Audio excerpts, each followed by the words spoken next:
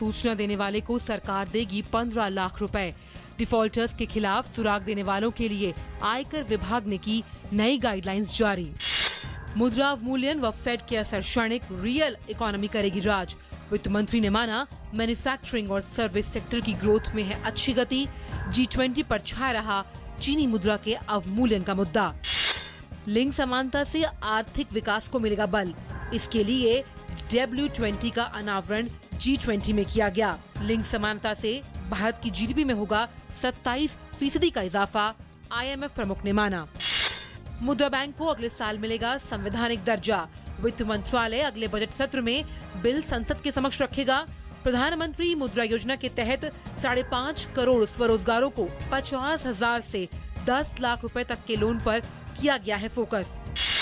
भारतीय रेल ने सुरक्षा में सुधार और कुशलता बढ़ाने के लिए इसरो के साथ मिलाया हाथ, ऑनलाइन सैटेलाइट इमेज हासिल करके सुरक्षा सुनिश्चित करना है मकसद।